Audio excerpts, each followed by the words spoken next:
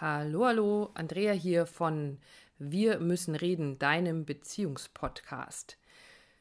Ich habe in meiner Beziehung gerade diese oder jene Situation. Gibt es dazu bei euch auch eine Podcast-Folge?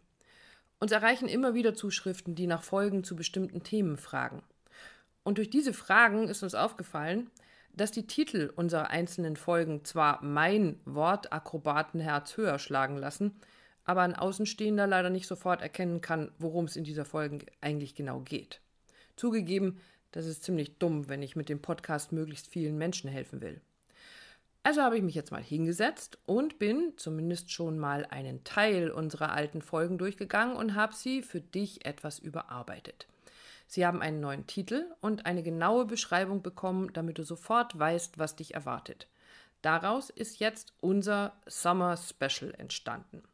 Für diese Aktion habe ich aus den ersten 100 Podcast-Folgen die ausgesucht, die wir als die mit dem meisten Mehrwert für dich und deine Beziehung erachten. Über die nächsten Wochen, sprich die Zeit, in der die meisten in irgendeiner Form Sommerferien und oder Sommerurlaub haben, bekommst du also ordentlich aufbereitete, aber bereits gebrauchte, nichtsdestotrotz sehr aktuelle Podcast-Folgen für deine Partnerschaft. Und Achtung! Am Ende nicht zu früh abschalten, denn nach jeder Folge erzähle ich dir schon mal ein bisschen davon, welches Thema dich in der nächsten Folge erwartet. Am besten ist natürlich, du abonnierst unseren Podcast auf dem Kanal deiner Wahl, dann verpasst du absolut nichts mehr und bekommst immer aktuell neue Impulse für deine Beziehung immer in der eigenen Komfortzone zu bleiben, das kann deine Beziehung tatsächlich zum Scheitern bringen. Sollte man gar nicht glauben. Aber wenn wir uns nicht bewegen, immer mal wieder raus aus diesem, aus diesem Wohlfühlbereich, dann wird es irgendwann langweilig. Und es heißt nicht, dass es immer wahnsinnig aufregend in der Beziehung sein muss. Nein, es dürfen sich Dinge natürlich einrichten oder ihr dürft euch einrichten in eurer Beziehung. Das sollt ihr ja tun, damit ihr euch sicher fühlt. Aber ab und zu braucht es mal sowas, so einen kleinen Ausreißer, so einen kleinen Musterdurchbrecher. Und wie das aussehen kann, wie du das in deiner Beziehung am besten machen kannst, davon handelt diese Folge. Ich wünsche dir viel Freude. Hallo. Hallo. Andrea hier. Und Dietmar. Von Wir, Wir müssen, müssen reden. reden. Du grinst schon wieder. Das ist heute schon wieder Thema lustig dran, oder was? ja. Das ist kein Spaß hier. Doch. Doch, total. Und ähm, ja, wir wissen gar nicht so recht, wie wir heute anfangen sollen. Ich hatte vorhin so den Impuls, damit anzufangen zu sagen, ich weiß ganz gut, was du gerne magst und was du nicht gerne magst. Ähm, egal, ob es ums Essen oder Trinken geht oder auch so Angewohnheiten, welche Klamotten du gerne magst, was du an deinem Tagesablauf gerne magst und das macht es sicher. Mhm. Damit fühlt sich vieles sicher an. Also es ist so. Den anderen zu kennen, meinst du? Ja. Mhm. Also, also, das ist so dieses, was wir ja schon mal hatten, so das Thema Landkarte des Partners zu haben. Das den anderen gut zu kennen, ist so eine der Voraussetzungen für eine gute Beziehung. Komfortzone, ne? Und meinst du? bietet einem auch eine gewisse Komfortzone, genau. Also so dieses, wir wissen, was wir beide gerne mögen, wir wissen, was wir gerne für Filme anschauen, worüber wir lachen oder eben nicht oder uns ärgern. Und damit und sind, wir sich, ja. sind wir schon beim Thema genau. Komfortzone. Genau. Und es fühlt sich ja sicher an. Also wenn du weißt, wie dick das Eis ist unter dir, das heißt, was dein Partner mag oder nicht mag, kannst du dich auf diesem Terrain auch sehr, sehr sicher bewegen. Mhm. Ähm, ist das, was wir alle tun als Paare, als, als Beziehungsmenschen. Wir bauen uns ja unsere Komfortzone in unserer Beziehung. Genau. Und das Wort Komfortzone passt da ganz gut. Es ist ja so aus der Persönlichkeitsentwicklung, wo es immer heißt, raus aus deiner Komfortzone rein ins Leben oder mhm. wie die Slogans so alle sind. Mhm. Aber tatsächlich gibt es in, in der Beziehung auch diese Komfortzone, wo wir uns einfach sicher bewegen können und uns sicher fühlen. Und jetzt kommt der Knackpunkt, den ich total mhm. spannend war, als wir uns vorher darüber unterhalten haben, dass das eigentliche Gefährliche an der Beziehung genau diese Komfortzone ist. Weil wenn du dich streitest, wenn du dich reibst aneinander und auch mal rausgehst, also diese Komfortzone ist Entwicklung möglich. Entwicklung als Paar, Veränderung ist möglich, aber wenn du immer nur in dieser Komfortzone bist, ist es auch so ein Thema, ähm, da lebendig zu bleiben dabei. Also das heißt, wie geht es dir emotional da? Bist du da einfach klar, bist du ruhig und bist du safe?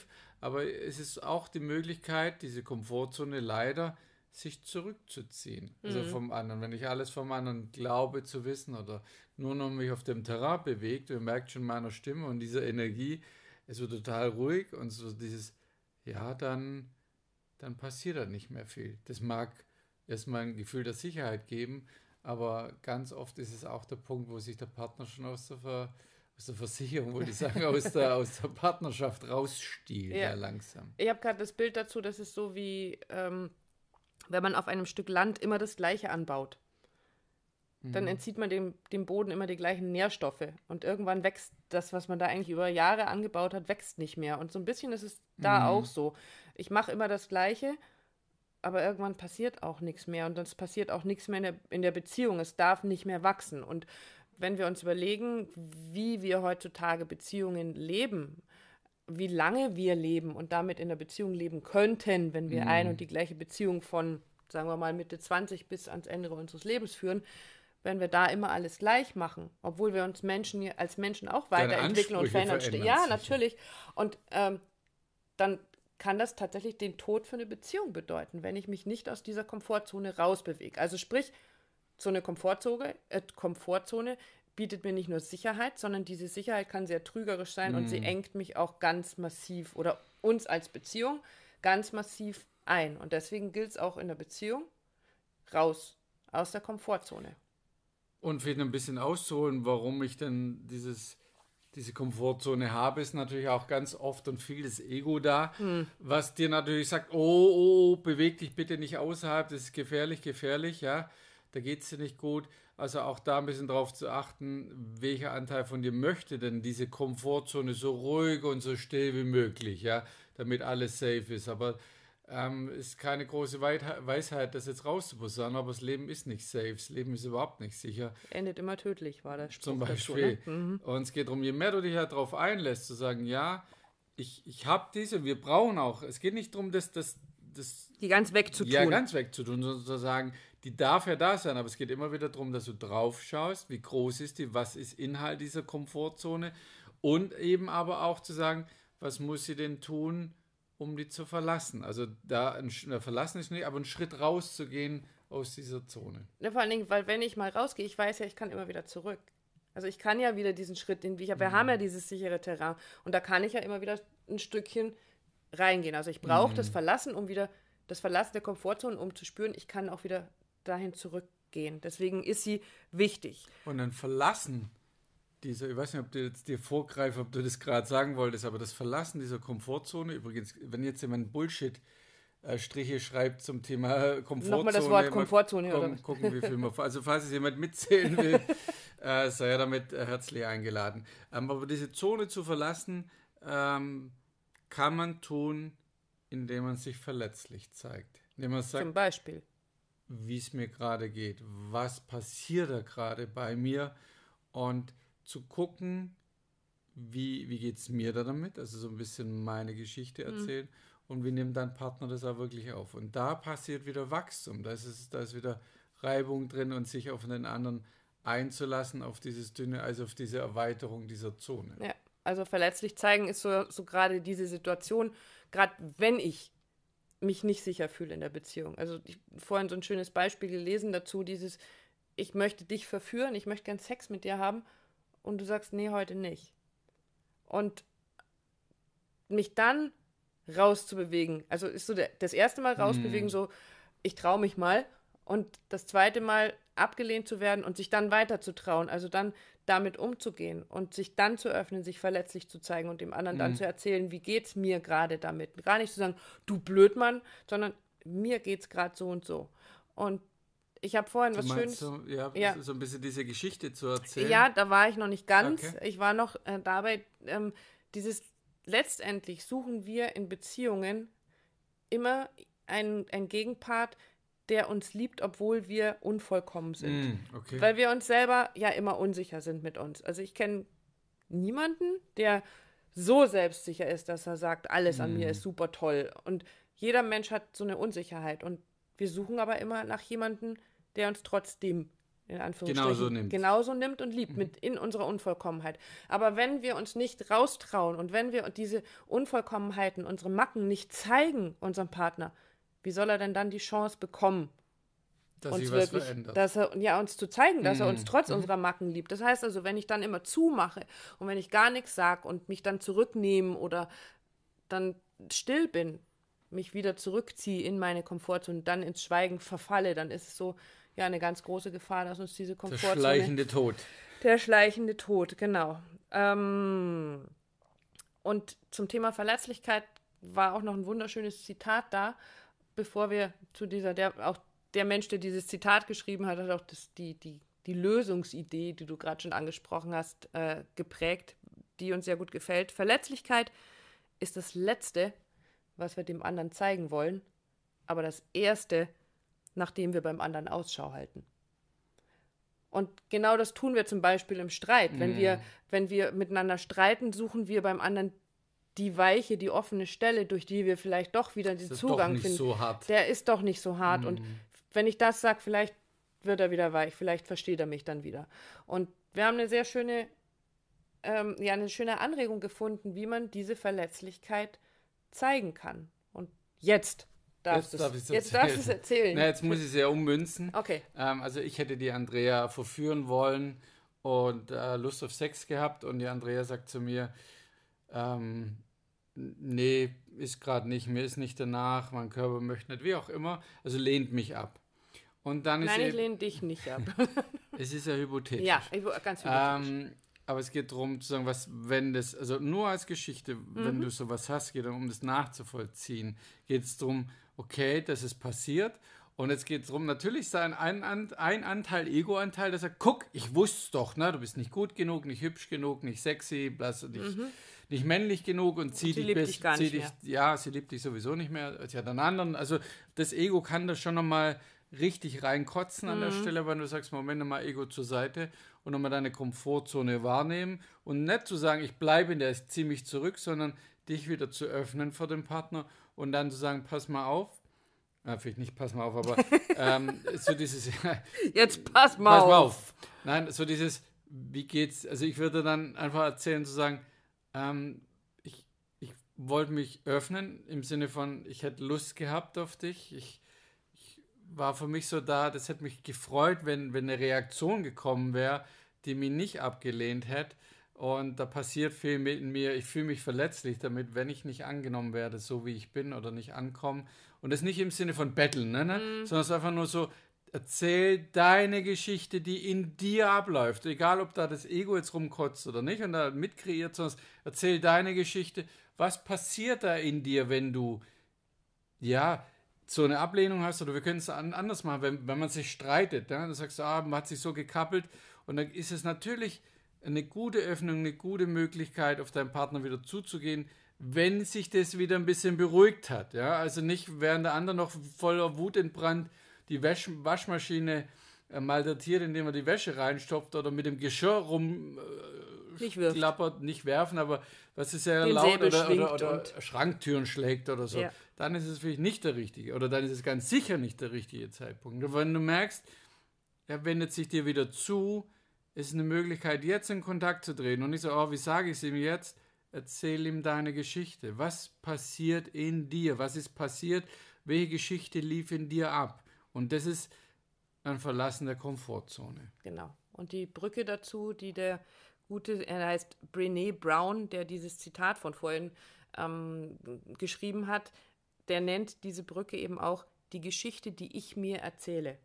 Ich möchte dir gerne erzählen, welche Geschichte ich mir gerade erzählt habe in der Situation, was bei mir alles abgelaufen ist. Eben, jetzt liebt er mich nicht mehr und ich bin tatsächlich, da wusste ich doch, dass ich zu dick bin und mhm. wenn ich das jetzt machen würde, dann macht er das, also sei doch lieber leise und eigentlich bist du sowieso dumm und, äh, und genau das erzähle ich mir gerade und das möchte ich dir möchte ich mit dir teilen. Und dadurch kannst du es wieder öffnen. Deswegen diese Brücke, sich verletzlich zu zeigen, mhm. indem ich dir erzähle, was ich mir gerade erzähle, ist ein ganz, ganz toller Weg, finde ich, finden wir, sich aus dieser Komfortzone, aus diesem festgestampften, eingezäunten Bereich rauszubewegen um die Beziehung wieder ein Stückchen wachsen zu lassen.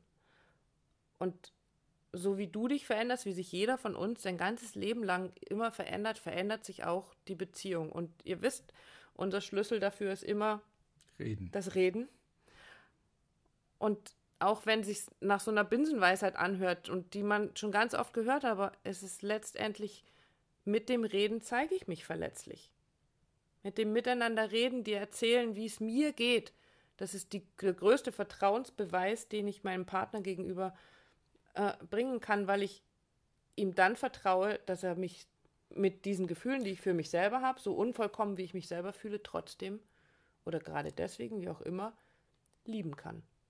Und der einzige Weg. Es ist der einzige Weg, dass sich deine Beziehung verändert, wenn du drüber redest, wie es dir geht, was da passiert.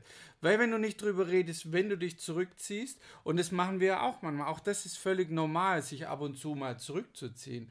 Und dann aber zu sagen, wie wir es vorher hatten, wieder rauszugehen, auf den anderen Partner zuzugehen, mhm. sich verletzlich zeigen, ganz bewusst aus dieser Komfortzone raus, dann kann sich deine, deine Beziehung verändern. Dann, dann dann kann sich es wieder öffnen. Weil wenn dein Partner immer rätseln muss oder, oder gar allein gelassen wird damit, das ist das, was ich ganz zu Anfang gesagt habe, das ist der Anfang vom Ende, weil dann findet innerlicher Rückzug zu, statt und keine Bewegung, kein Miteinander.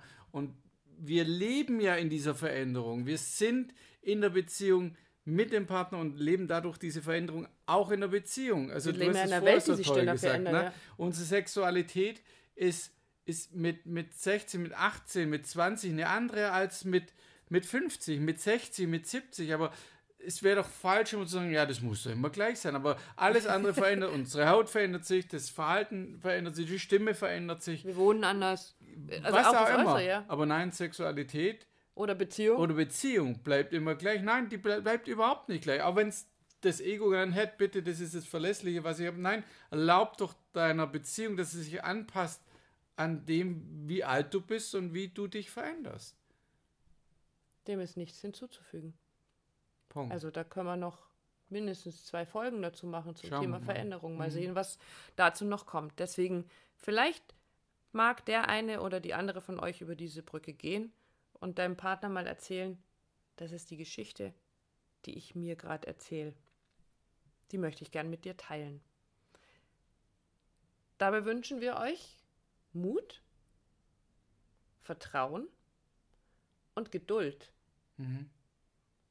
Dass, es, ja. dass du es trotzdem nochmal probierst, auch wenn es vielleicht beim ersten Mal nicht so klappt. Denn auch das ist etwas, was was mit Veränderung zu tun hat. Die klappt nicht immer auf Anhieb. Nein. In diesem Sinne, habe ich das gerade schon gesagt, in diesem Sinne. Hm. Auch das ja, darf auf die Strichlisten. Hm. Alles Liebe, ihr Lieben. Bis zum nächsten Mal. Tschüss. Und sind dir auch so ein paar Dinge eingefallen, die du vielleicht in deiner Beziehung verändern möchtest? Dann freut uns das sehr. Und wir freuen uns natürlich, wenn wir von dir Nachricht bekommen, was du denn so verändert hast und vielleicht auch, wie hat dir denn dir bis jetzt in unserem Sommer-Special so die eine oder andere Folge in deiner Beziehung wirklich weitergeholfen? Lass es uns wissen. Schick uns einfach eine Nachricht über alle möglichen Kanäle. Die Kontakte findest du in den Show Notes und wir freuen uns über jede Nachricht. In der nächsten Folge äh, geht es um sowas wie ein Beziehungskonto. Manchmal haben wir in unserer Beziehung das Gefühl, mehr zu geben als der andere. Und wir hinterfragen mal so ein bisschen, ist das tatsächlich so? Oder bilden wir uns das eigentlich nur ein?